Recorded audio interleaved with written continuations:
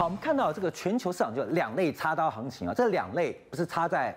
别人身上是插在自己身上，哪两类？一个是油价的破底，另外就是人民币的重贬啊。我们看今天人民币虽然贬势趋缓，可观众注意到哦，离岸人民币今天还是再创新低，来到六点五七三六。那在岸的人民币今天也再创新低，最低已经来到快六点五，最低来到六点四九五七。人民币这一波的持续的贬值，给全球新市场带来极大压力。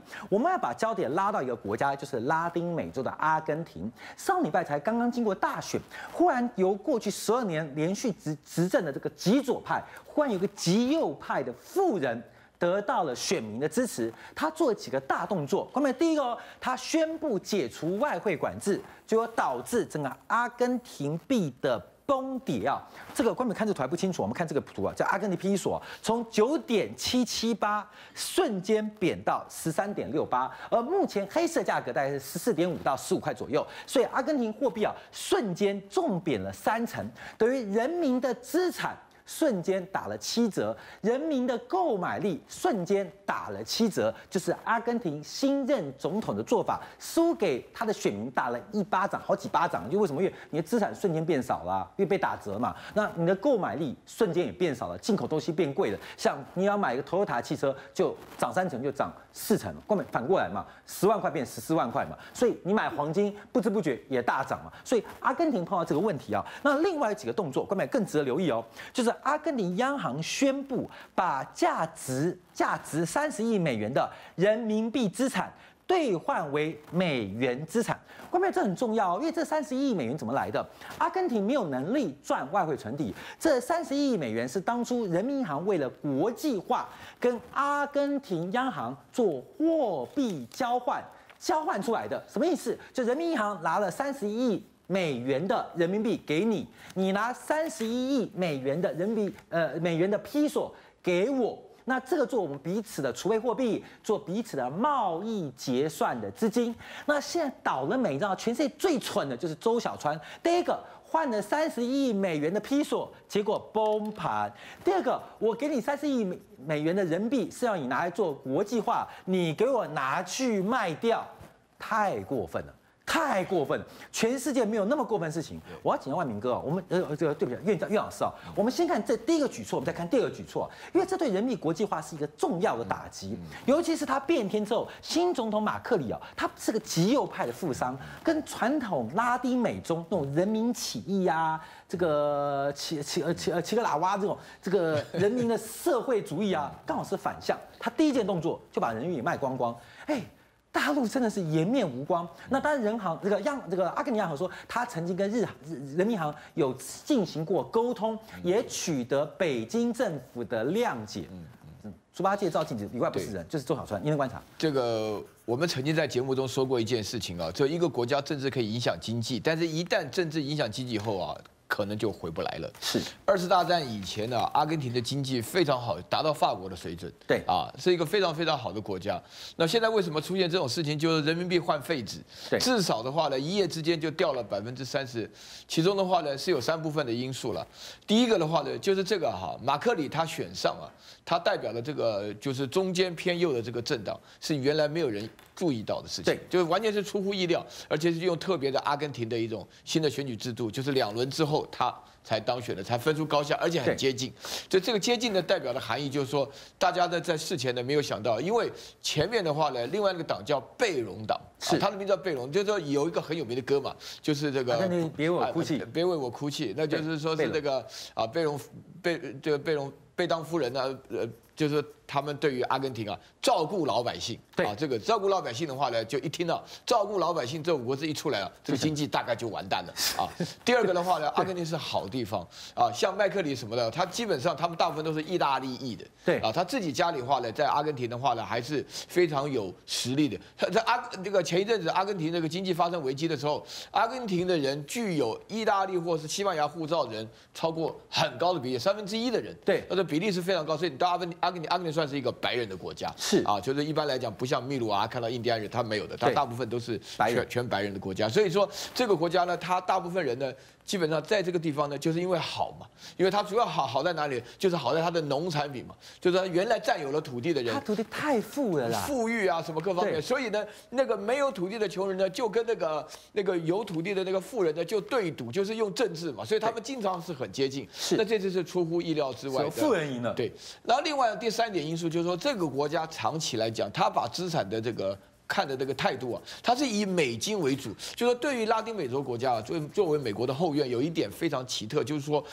他们呢，大部分都反美，但同时他们又知道好的生活在美国，对。所以这产生一种很奇怪的心理，就是说，你不管你嘴巴里怎么骂美国呢，你手袋里手上总是要点美金，对。啊，因为呢，这个阿根廷的这个披索呢，很像是这个拉丁美洲人的性格，对。啊，所以说我看那个报道讲说，麦克里选上的时候呢，七十多岁的老人啊，很像是一个祖父在孙女的婚礼上跳舞一样，是。啊，他高兴的跳舞啊什么的，啊，就出现了这些很。过头什么，然后这一些情况整个加起来的话呢，就出现了这个很奇怪的感觉啊。对就他做了几件事情，他们什么叫做左右派，这个倒是蛮清楚。他就是认为说，拉丁美洲左派右派很清楚哦，不像台湾的左派右派，他没有，国民党是左派右派，民进党是左派右派，哎没有人知道。呃，沈富雄讲说没有，我他没有左派嘛。我们一看到选票需要，马上就偏左偏右。对对对啊所以我们左右之间就像是开车一样，随便只要打个方向灯就好。对可是阿根廷他不一样，他的立场非常坚决。比如说像解除外汇管制，对就是让美金自由浮动。对这样呃让美金在自由买卖，要批准自由浮动就是要批索自由浮动。对自由浮动马上就跌。现在讲的话呢，可能会跌到十四块五，就是就是下跌百分之三十。对那原来是九点八，是前面一个政府，前面一个政府的话，打死不从。哎，他就是说是定死，就是你不准出去，就是对锁定啊，就是然后呢，那你要是锁定披索的价格的话呢，那你一个很重要的事情就是你自己国人要吃饱啊。阿根廷刚好吃饱不成问题。对啊，我们这边讲黄小玉，阿根廷是牛黄小鱼，什么都有。啊，加个牛肉。阿。根廷牛排阿根廷在世界有名的，对。啊，这个是世界有名的，而且呢，它只要是一通货膨胀的话呢，这个牛排的话，你本来吃八盎司，现在变成十二盎司，对对对。另外四盎司是送的嘛，是。所以说大家就觉得说是，但是这些阿根廷特别，对它是属于一种重农主义式的，它的地主有钱人大部分都是农产品的，好，岳老师带到一个问题了，观众朋友，他第一个做事情是跟人民币宣布决裂啊。第二个动作，观众们注意到哦，他大幅调降了农产品出口税。这个观众要特别说明哦，因为在台湾农民是弱势，所以任何对农民降税的举动，我们都视为是照顾弱势。可观众要注意到哦，因为阿根廷的有钱人，他都是种田的，他是一个庄园的国家，所以基本上他替农业降税。看到没有？那基本是是取消富人税的感觉哦，就跟台湾取消正所税一样，很怪。台湾就是取消正所税，就穷人很开心。这种这种台湾比较就变态，阿根廷也差不多啊。所以基本上它等于是降低一个富人税，但这很重要哦，因为阿根廷是它有个蓬巴草原，关键这蓬巴草原是个草原气候，它的面积有多大？七十五万平方公里。我们就以台湾的嘉南平原来计算，它大概等于两百三十个台湾的嘉南平原。它有多强？在过去一段时间，阿根廷牛肉出口曾经是世界第三，小麦跟苹果曾经是世界第四，葵花籽油、葵花籽曾经是世界第一，柠檬的出口世界第三，水梨哦，梨哦，我没吃过，但我们知道阿根廷的梨世界曾经第一，玉米是世界第二，黄豆是世界第三，黄豆油、沙拉油、黄豆粉做饲料的世界第一，所以它是个超级农业大国。是现在一降税，哦，这影响就大了，就跟沙特阿拉伯宣布降油价一样，这全世界农产品会大乱呢。对对，这个是一样。我们以前小呃中学的时候读地理，就是就是特别提到蓬巴草原已经肥沃到，就是说意大利人跟西班牙人他们称之为燕子，就是到了收割？因为它南半球嘛，刚好收割的季节是相反的嘛。对所以这这就这些人就专门称之为燕子，就到蓬巴草原来做收割的工作。所以那边的人基本上白人特别多，就是在移民移过去嘛。对那你再看这边的这张图，上面写的很清楚，就是二零零五年到。二零一五年就刚好是过去的十年，对这过去十年就是这个贝隆派的话呢，他们基本上就是照顾老百姓的福利，他基本上就是把这个出口税拉得很高。对那那个富人，因为出口税高，他们现在这个说麦克里他说，我这个出口税一取消以后啊，我们农产品增加两倍。对啊，农产品的话，你阿根廷牛肉真的好，经得起考验。阿根廷的这个牛黄小玉都好的话，对你的外汇就自然进来。所以现在跌百分之三十。不影响，因为将来的话呢，比如说按照他这个理想来讲，会慢慢慢慢涨起来。可是问题对国内消费就是牛肉增加两倍没有用啊，因为都出口了。对，阿根廷吃不起，之前阿根廷牛肉可能因为出口税竞争力价格不是比较受到影响，可阿根廷人可以吃到非常便宜的牛排。可是现在牛肉虽然增长一倍，可是无感啊。对这个这个问题就是说，我就一开始就为什么我要讲说，政治影响经济以后，一旦跌下去就爬不起来。我讲的就是这个例子。对，因为他有一半的人伺机而动，因为包含就是阿根廷除了这个总统当选自己在跳舞以外，全国人并没有热烈的庆祝行情啊。是因为这种情况是一种照顾富人的行情，实在是因为前面搞的阿根廷的外汇管制管到他们的追求自己的对呃国际化的生活了，他们自己有非常好的可以出口的东西，不让出口了，这种管制性。的经济导致国家经济不能发展起来，一旦发展起来又没有办法进行土地改革，解决贫富之间的差别，所以就陷入一种。